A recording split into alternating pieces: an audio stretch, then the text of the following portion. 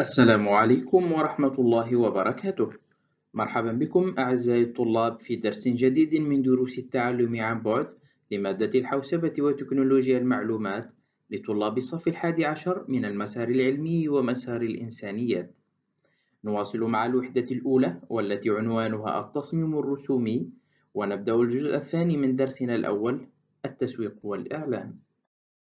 تعرفنا في الدرس السابق على مفهوم الإعلان الذي يعتبر عنصرا من عناصر عملية التسويق ويمكن أن يكون مباشرا وصريحا أو غير مباشر. وهو نوع من أنواع التواصل أحادي الاتجاه بين المرسل والمستقبل ويمكن أن يتم بطريقة نصية أو صوتية أو مرئية. والهدف منه هو إعلام المستهلكين وإقناعهم بمنتج أو بخدمة معينة عن طريق وسائل الإعلام المختلفة والتي من بينها الوسائل الإذاعية الوسائل المطبوعة الوسائل الخارجية وسائل الإعلام عبر الإنترنت الهواتف النقالة وعديد الوسائل الأخرى مثل الإعلان في وسائل النقل العمومي.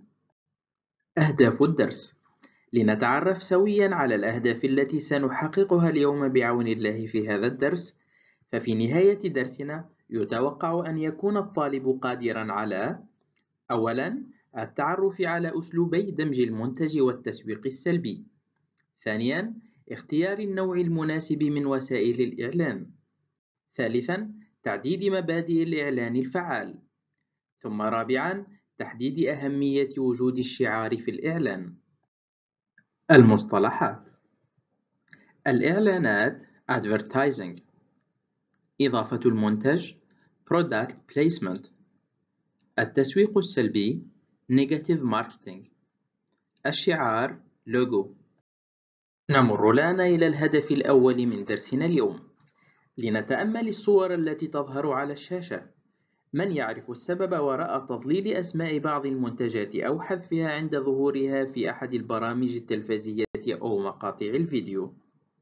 الجواب حتى لا يتم الإعلان لها أو التحدث عنها بشكل غير قانوني.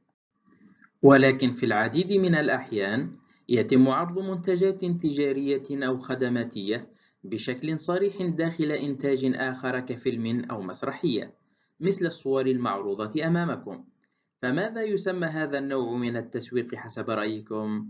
نعم يسمى هذا النوع من التسويق أسلوب دمج المنتج يمكننا تعريف أسلوب دمج المنتج على أنه الإشارة إلى منتجات أو علامات تجارية محددة داخل إنتاج آخر كفيلم أو برنامج تلفزيوني وذلك بنية الترويج لها وهو أسلوب مميز في عملية التسويق.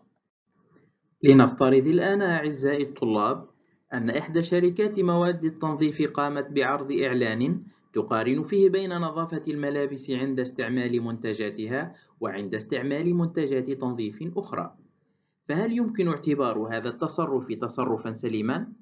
وماذا يمكن أن نسمي هذا النوع من التسويق؟ الجواب هذا تصرف غير سليم ويمكن أن نطلق عليه اسم التسويق السلبي يمكننا القول أن الإعلان في التسويق السلبي يقوم على الإشارة إلى المنتجات المنافسة مع التركيز على سماتها السلبية وتستخدم الشركات أسلوب التسويق السلبي في الأعمال التجارية لجعل منتجاتها تبدو أفضل في نظر المستهلكين إلا أنها طريقة سيئة في التسويق. لنجيب الآن عن العبارات التالية بصحيح أو خطأ. يطلق مصطلح التسويق السلبي على عملية دمج علامة تجارية أو إعلان في فيلم أو برنامج تلفزي. الجواب خطأ. فعملية إظهار علامة تجارية أو إعلان في فيلم أو برنامج تلفزي تسمى دمج المنتج. أما التسويق السلبي فيتم عن طريق الإشارة إلى السمات السلبية للمنتجات المنافسة داخل الإعلان. يعتبر أسلوب دمج المنتج من الأساليب الجيدة في التسويق. الجواب صحيح. في التسويق السلبي تتم الإشارة إلى الجوانب السلبية للمنتجات المنافسة. الجواب صحيح. نمر الآن إلى الهدف الثاني من درسنا وسنتعرف فيه على كيفية اختيار النوع المناسب من وسائل الإعلانات. وفيما يلي سنحدد بعض الخطوات التي يمكن اتباعها لتحديد الوسائل الإعلانية المناسبة للحملة وهي أولاً تحليل هدف الشركة من الإعلان للحصول على فهم أفضل للمنتج وللمستهلكين المستهدفين بالإعلان. ثانياً، جمع معلومات كاملة عن التركيبة السكانية للمستهلكين وللفئة المستهدفة.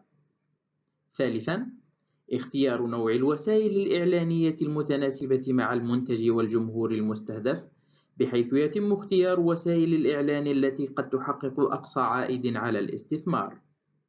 رابعاً، تكرار عملية اختيار الوسائل الإعلانية المناسبة على مدى فترات زمنية محددة لتحقيق أفضل فائدة للشركة.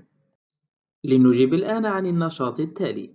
لنفترض أن طلاب إحدى المدارس يرغبون في صنع بعض المنتجات مثل القمصان والقبعات والكرات والأكواب، وذلك لعرضها كهدايا تذكارية بمناسبة كأس العالم 2022. عبر متجر إلكتروني يختص بطلاب المدارس. لنقترح الآن بناء على ما تعلمناه الهدف من الإعلان والفئات المستهدفة بهدف تحديد وسائل الإعلان المناسبة ووسائل الإعلان الأخرى التي يمكن استعمالها لاحقا. الجواب: الهدف من الإعلان هو بيع الهدايا التذكارية لزملائهم في الفصل. الفئة المستهدفة هم الطلاب. وتتناسب الوسائل الإعلانية المطبوعة مع هذا المنتج وفئة الجمهور المستهدف ويمكن استخدام لافتة ويب متحركة كوسيلة إعلانية أخرى ووضعها في الصفحة الأولى من المتجر الإلكتروني الذي سيتضمن المنتجات المعروضة للبيع. نمر الآن إلى الهدف الثالث من درسنا وفيه سنحدد أهم المبادئ اللازم توفرها في الإعلان حتى يحقق الفعالية المرجوة منه وهي كالتالي أولا اختيار العنوان الجيد. ثانيا طلب إجراء من المتلقي Call to Action. ثالثا إظهار مصداقية المنتج. رابعا التركيز على ما يقدمه المنتج للمستهلك. خامسا التركيز على المنافع وليس على الميزات. ثم أخيرا تضمين المعلومات المناسبة. وسنقوم بشرح هذه المبادئ بالتفصيل. أولاً اختيار العنوان الجيد حيث تعتبر كلمات العنوان من أهم مكونات أي إعلان وأكثرها حساسية من سائر محتوى الإعلان حيث يفقد الإعلان قيمته إذا فشل في جذب انتباه الجمهور. ويجب أن يركز العنوان الجيد على ميزات المنتج أو الخدمة والمسائل التي تعني الجمهور فيه. كما يتميز العنوان الجيد بأنه يثير الفضول ويدعو لاستكشاف المزيد من المعلومات بخصوص المنتج. إحدى الطرق الجيدة لجذب انتباه المتلقي هي الطلب منه القيام بعمل ما، ويطلق على هذا المصطلح التسويقي تسمية Call to Action، وهي طريقة تستخدم بشكل واسع في الإعلانات والبيع. ثالثاً، إظهار مصداقية المنتج. حيث وبغض النظر عن نوع النشاط التجاري أو المنتج أو الخدمة التي يتم الترويج لها يتعين دائما إثبات المصداقية بالاستعانة بطرف ثالث مثل استخدام الاعتماد الرسمي أو الاستعانة بشهادات لأشخاص يبدون رضاهم عن المنتج بهدف توفير مصداقية لما يقدمه الإعلان.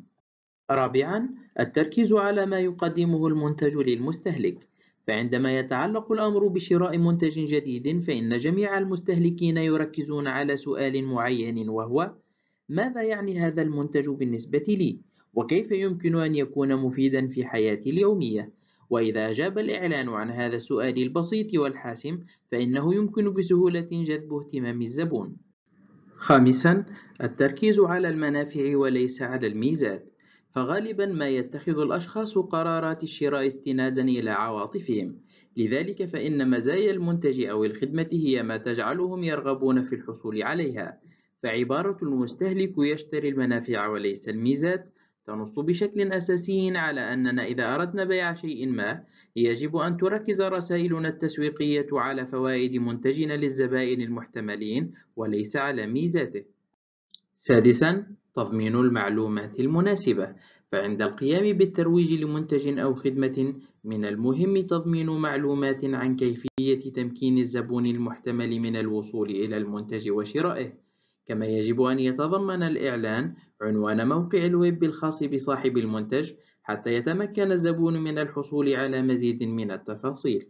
ننتقل الآن إلى التطبيق الثاني من الصفحة الثانية والعشرين من الكتاب المدرسي. ولنقم بتعديد العناصر التي يجب أخذها بالاعتبار عند إنشاء إعلان فعال. الجواب أولا اختيار العنوان الجيد.